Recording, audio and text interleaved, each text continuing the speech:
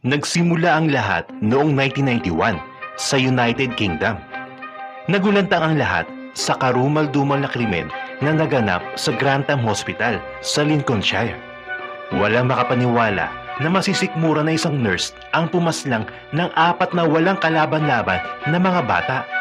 Maliban dito, may siyam pang ibang bata ang kamuntikan na niya mapaslang. Ano ang nagtulak sa isang taong sumumpang sasagip ng buhay pero gagawa pala ng karumal-dumal na krimen? At yan ang alamin natin, si Beverly Alit ay pinanganak sa tahimik na lugar ng Corby Glen sa England noong October 8, 1968. Pangalawa siya sa apat na magkakapatid. Simple lang siya at hindi special ang kanyang kagandahan at lumaki siyang walang kakaibang talento. Naghahanap siya palagi ng atensyon at dahil pangkaraniwan lang siya, nakaisip siya ng ibang paraan para mapansin. Sinasaktan niya ang sarili niya ng intentional pero hindi pa masyadong malala noong kabataan niya. Nang patapos na siya ng elementary, hindi niya naipasa ang 11 plus exams. Kaya sa lokal na eskwelahan lamang siya pinag-aral ng high school. May nakilala siyang nurse na mabait, kaya sa murang edad, pinangarap niya din ang maging nurse paglaki niya. Pinahiram siya ng nurse ng mga libro at mga gamit at dito na nagumpisang magbago ang buhay ni Beverly Alit. Habang nag-aaral, nagtrabaho siya bilang bartender sa Fighting Tax. Ito ay isang local na bar. Nakilala siya sa bansag na Fable dahil sa paiba-ibang kwento niya tungkol sa kanyang sarili. Nagkaroon din siya ng ilang mga kasintahan. Isa sa kanila ay si Steve Biggs na habang nasa relasyon ay madalas siyang bugbugin tapos pinapahiya siya at palagi siyang kinakawawa. Nag-apply siya bilang state enrolled nurse sa Grantham and Kes Stephen District Hospital. At sa kabutihang palad, natanggap naman siya dito. Simula noon, may mga misteryosong pangyayari ang bigla na lang nagaganap sa dormitory ng medical college. Minsan, mayroong dumi ng tao na inilalagay sa refrigerator na hindi nila alam kung sino ang naglalagay. Minsan naman, sa ilalim ng lutuan nilalagay ang dumi. At minsan, may pagkakataon na sinusunog pa ang kortina. Walang ebidensya o kahit na indikasyon lamang na magtuturo kay Beverly. Kaya ang mga estudyante ang nalagay sa alanganin na matatanggal. Sa tagal ng kanyang pag-aaral, kung ano-anong sakit ang kanyang ginagawang dahilan para hindi siya pumasok sa kanyang klase. May pagkakataon na umiinom siya ng mainit na tubig para tumaas ang kanyang temperatura. At minsan ay tinuturukan niya ng tubig ang kanyang dibdib para sabihing hindi ito pantay. Sa huling dalawang taon ni Beverly sa kurso niya, mas marami pa siyang hindi ipinasok na klase na umabot ng humigit kumulang ng isang daang araw. Pero kahit paano ay naawa sa kanya ang kanyang mga prof kaya pinasang-awa na lang siya. Ginusto niya maging pediatric nurse subalit hindi siya tinanggap nung una dahil wala siyang ganong karanasan sa pag-aalaga ng mga batang may sakit. Pero sa kung anong kadahilanan, nakakuha siya ng pahintulot na mag-training sa Ward 4 ang Ward 4 ay isang lugar para sa mga baby o ang tinatawag na pediatric ward. Subalit ang lugar na ito ay kulang ng tauhan dahil maraming pasyente palagi. Marahil ito ang dahilan at pinayaga si Beverly na magsanay dito at dahil na rin isa siyang state-enrolled nurse. Kahit nakulang siya ng kaalaman at experience, nagumpisa naman ang anim na buwang kontrata niya sa Grantham District Hospital noong February 18, 1991. Parang itinadhana din sa pagpasok niya ay biglang tumaas ang bilang ng mga pasyente. Ikinasaya ng Ward 4 ang pagpasok niya dito dahil madadagdagan ng manpower ang kanilang ward. Subalit dito na mag-uumpisa ang mga kakaibang pangyayari. Si Paul Crampton ay isang limang buwang sanggol na may sakit sa baga. Medyo tumatagal na ang karamdaman ng bata kaya nagdesisyon ng mga magulang na dalhin na siya sa Grantham Hospital. Nag-alala man ang mga magulang sa karamdaman ng bata ay hindi sila nag-iisip na may mangyayaring masama dito nang sabihin ng doktor na i-confine na muna siya para maobserbahan. Kinabukasan, bigla na lamang nagkagulo ang mga tauhan ng hospital. Sumaklolo agad ang doktor na si Dr. Charit na Nayakara at sa mga nakita niya mga sintomas katulad ng pamumutla, panlalamig at matinding pawis. Alam niya na hypoglycemic ang bata kaya pinaswero niya agad ito ng glucose. Sa kabutihang palad, bumuti naman ang kalagayan ng bata. Ang nakakapagtaka dito, wala namang record ng bata na may glucose deficiency kaya nagtataka sila sa mga nangyari. Pero lumipas ang ilang mga araw, sa kabutihang palad, gumaling naman ito at nakalabas na rin. Ang hindi alam ng lahat, hindi lang si Paul Crampton ang makakaranas ng ganito. Ang pangalawang biktima ay si Liam Taylor na anak ni na Joanne at Christian Taylor. May pneumonia at nahihirapan lang huminga ang bata. Noong una ay nag improve na ang kalagayan ni Liam. Pero paglipas lamang ng ilang oras ay biglang lumala ang kalagayan nito. Mabilis na nanghina ang katawan ng bata. Biglang nagkaroon ng cold blue. At dali-daling pumunta ang mga doktor. Maraming aparatos ang inilagay sa katawan ng bata. Hanggang lumipas ang ilang oras ay tuluyan ng bumitaw ang katawan nito. Hindi malaman ng doktor kung paano lumala ang sitwasyon ni Liam. E kung tutusin, halos okay na ito. At effective ang mga gamot na antibiotic para sa kanyang pneumonia. Walang nagawa ang mga magulang kundi tanggapin na lamang ang sinapit ng kanilang kawawang anak. Pagkatapos ng dalawang linggo, ang sumunod naman na biktima ay si Timothy Hardwick, walong buwang gulang na sanggol. Ang kawawang bata ay paralisado. Si Beverly ang nag-admit sa bata at nag-asikaso dito. Dahil nagbibigay pa ng gamot ang isang staff nurse na si Mary Reed. Ilang sandali lamang ang lumipas ay biglang humingi ng saklolo si Beverly. Dahil bigla na lamang nagkulaps ang bata. Pumunta agad ang mga doktor at ibang nurses para sagipin ang kawawang bata. Pero sa kasamang palad, binawian agad ito ng buhay. Sa isip ng lahat ay marahil sani ito ng komplikasyon ng kalagayan niya. Pero nagtataka sila, bakit bigla ito nagkulaps? Pagkalipas lamang ng limang araw, isa na namang labing limang buwang sanggol na si Kylie ang nagkaroon ng respiratory arrest ng dalawang beses. Noong una, naagapan nila ang unang atake. Pero nagdesisyon ng doktor na ipadala na sa Nottingham General Hospital ang bata. Mas malaking hospital ang pinaglipatan nila sa kabutihang palad, nasagip ng tuluyan si Kylie. Dahil sa pangyayaring iyon, ang mga tauhan ng Ward 4 ay hindi mapakali. Lahat sila ay may kanya-kanyang agam-agam at pagdududa. Kasama na rin ang doktor na sumusuri sa mga bata. Ang ipinagtataka nila, bakit lumulubha ang kalagayan ng mga bata pag pinupunta ito sa kanilang ward? Meron ba nagkamali sa mga tauhan ng hospital? At kung meron, sino? Samantala, ang kalagayan ng naunang bata na si Paul Campton ay bumubuti na. Kampante na ang mga doktor at nurses na pwede na siyang umuwi paglipas ng ilang araw. Pero noong si Beverly Alit na ang nakatokang magpalit ng swero ng bata, ay bigla na lamang ito nagkulaps. Dali-dali na namang pumunta ang mga doktor at nurses sa Ward 4 at sa kabutihang palad, nasalba naman ng mga doktor at nurses ang bata. Dito na napagdesisyonan ng magulang at doktor na ilipat na lang sa ibang hospital ang bata dahil kinakabahan sila na baka magaya sa ibang bata ang mangyari kay Paul. At ito ang tamang desisyon na ginawa nila. Nagdesisyon ng mga doktor na ipadala sa Queen's Medical Center ang bata dahil nagka-hypoglycemic attack na naman ito.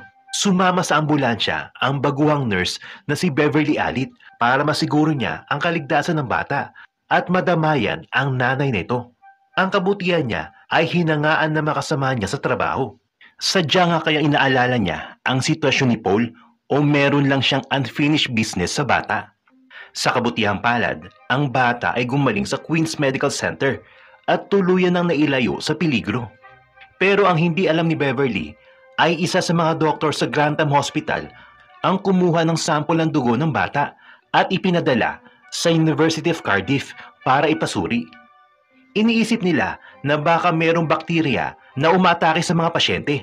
Kaya gusto nila malaman ang sanhi ng sunod-sunod na kamalasan sa kanilang ward. Sa mga sumunod na linggo, naulit na naman ang mga nangyari. Nadagdagan pa ito ng limang kaso. Ang isa sa mga biktima ay si Becky Phillips, isang premature na bata na nagkadayariya. Gusto lamang ni guro ng mga magulang na okay na ang bata, kaya dinala siya sa ospital palalabasin na sana nila ang baby na si Becky sa araw na yun. Subalit paglipas lamang ng ilang oras, ay nagulat ang lahat sa biglang pangihina ng bata. At sa kasamang palad, mabilis itong nasawi kahit ginawa ng lahat ng mga doktor. Si Becky ay merong kakambal na ang pangalan ay Katie.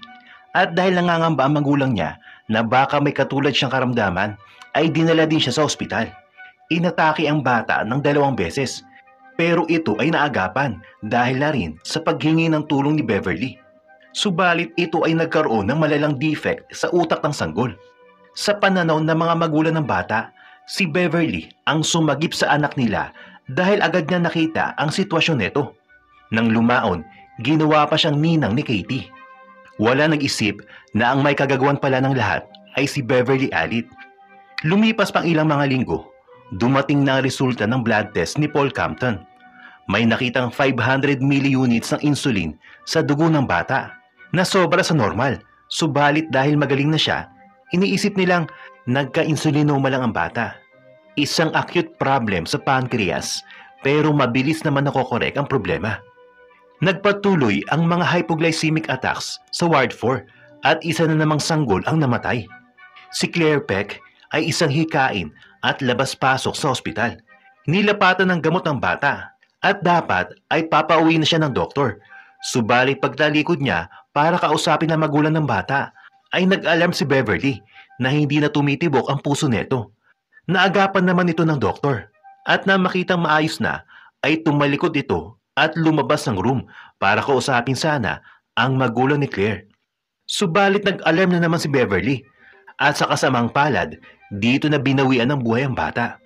Ang kamatayan ni Claire ang gumising sa mga otoridad sa ospital. Dito na sila napaisip kung may posibilidad ba na may pumapatay sa mga batang pasyente sa Ward 4. April 30, 1991. Tumawag sila sa kapulisan at kinausap ni Detective Stuart Clifton ang dalawang doktor na sumuri sa mga bata na sina Dr. Porter at Dr. Nanayakara. Kasama na rin si Professor David Hall. Hininga ng detective ng detalyadong impormasyon tungkol sa labing apat na pasyente. Maliban kay Paul Campton, walang nakuha ang mga otoridad kaya nagbuo siya ng grupo na nagsiyasat sa mga tauhan sa ospital. Kasama na rito si Beverly Alit. Si Officer Michelle Billingsley ang kumausap sa kanya at wala siyang nakitang kaduda-duda sa mga sagot ng nurse. Pero si Detective Clifton ay may isa pang anggulo tinitignan. Pinaimbestigahan niya kay Detective Neil Jones ang mga ospital na pinagdalhan ng mga bata nag-collapse. Isa dito ang Queen's Medical Center sa pinagdalhan ng mga bata. Nagkataon naman na siyam sa labing tatlong bata ay may nakatagong sample ng dugo. Pinadala ito sa University of Surrey at sinuri ni Professor Vincent Marks. Isa sa mga sinuri niya ay ang dugo ni Paul Campton. Sa pangalawang beses, ang level ng insulin na nakita ay umabot sa 47,000. Nagtataka sila bakit hindi ito nagtugma sa sinuri ng University of Cardiff. Nalaman nila na yung aparatos na ginamit nila ay calibrated lamang hanggang 500 units. Ayon kay Clifton, base sa pagsusuri ni Professor Marks, ang insulin ay itinurok sa biktima, isang patunay na maaring meron niya pumapatay sa mga bata. Para mahuli ang salarin, kailangan nilang malaman kung sino ang may access sa insulin. Ang mga insulin ay nakalagay sa nakakandadong ref at ang huling may hawak ng susi ay si Beverly Alit. Subalit ang sabi ng nurse ay inabot na niya ito sa isang reliever. Sa panahon na yon, ang susi ay nawawala. Pero paano napatunayan na siya nga ang salarin? Si Detective Clifton ay desididong mahanap ang kriminal. Alam na niya na merong salarin. Ang hindi niya alam ay kung sino. Kinuha niya ang lahat ng listahan ng mga tao simula sa unang pag-atake hanggang sa uli. Kasama na noong may namatay na. Isa lang palagi ang lumalabas sa pangalan. At ito ay wala ng iba kundi si Beverly Alit. Kumilos kaagad ang kapulisan at inaresto si Beverly sa bahay niya noong May 21, 1991, alas 7 ng umaga. Kalmado lang siya at habang iniimbestigahan at tinatanong ni Officer Michelle ay hindi talaga siya nakitaan ng pagkabalisa o pagkatakot man lang. May nakitang syringe sa bahay ni Beverly, subalit maliban doon ay wala ng ibang ebidensya. Kaya pinakawalan din siya ng araw ding yun dahil sa kakulangan ng ebidensya. Sa pagkakataong ito, ititigil na kaya ni Beverly ang paggasik ng lagim pagkatapos niya maaresto? Ganito ang nangyari. Pinatigil muna siya sa trabaho at nakitira siya sa isa niyang kaibigan na may pangalang Tracy Johnson. Subalit habang nandun siya sa bahay na kaibigan niya, ay nagsimulang mangyari ang sari-saring kababalaghan. Nagumpisa sa bleach na nakita sa higaan na kapatid ni Tracy na si Jonathan. Sumunod naman ang bumubulang bibig ng aso nila nang sanhin na pagbibigay ni Beverly ng tableta dito. Binaliwala ni Eileen ang pangyayaring ito. Pero may isang pangyayari ang magpapabago sa isip niya. Isang araw, nasa wet market si Eileen at Jonathan nang biglang dumaing si Jonathan ng matinding pananakit ng tiyan.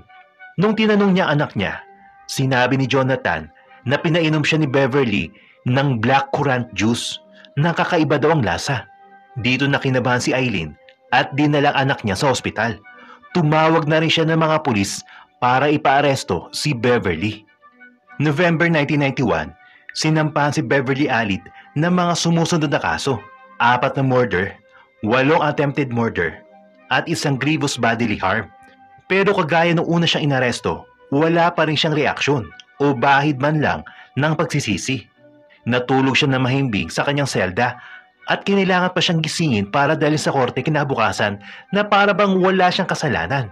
Nanatili siya sa Wakefield Prison habang naghihintay na paglilitis. Sa mga oras na ito, ang buong mundo ay nakatutok na sa kaso ng nurse na kumitil ng buhay ng mga inosenteng mga bata sa Gramtang Hospital.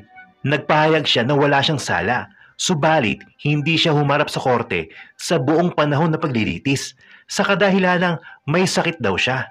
Subalit buong ebidensyang ipinakita ng prosecution at siya ay nahatulan ng 13 times life imprisonment. Ikinasaya ng buong Grantham Hospital ng mga kapulisan, ng mga magulang ng mga biktima at ng buong mundo ang naging desisyon ng korte.